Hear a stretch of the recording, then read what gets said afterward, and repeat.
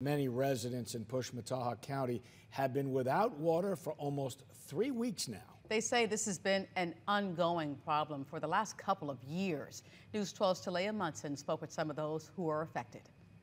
We've had not a drop for 18 days of no water. Karen and Tammy have been neighbors in Sobol for 12 years, but recently, water outages are happening more frequently. We've been without lots.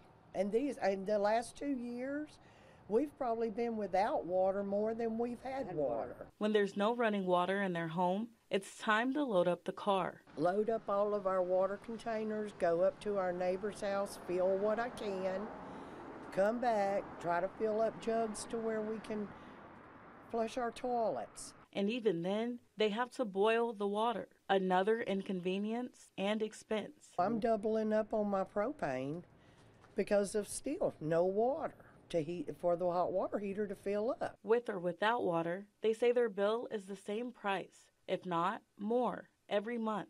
Rural Water District 3 sent a statement to News 12 that reads Our South Water Tower is not filling quickly enough, which is keeping all other water towers low. They have crews walking water lines looking for leaks, but their faucets are still dry.